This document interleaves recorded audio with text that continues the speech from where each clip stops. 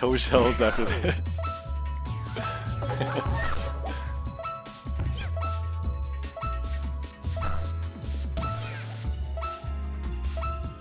yeah, I'm gonna be like one of those guys who have like muscular legs but no strength anywhere else in their body.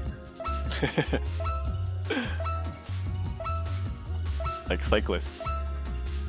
No, I mean they have strength elsewhere in their body, but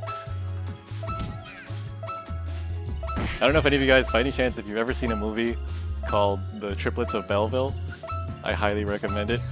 It's a really weird uh, animated movie. And uh, uh, biking is a prominent is prominent in it. And they're like these weird designs with guys with huge legs. Yes!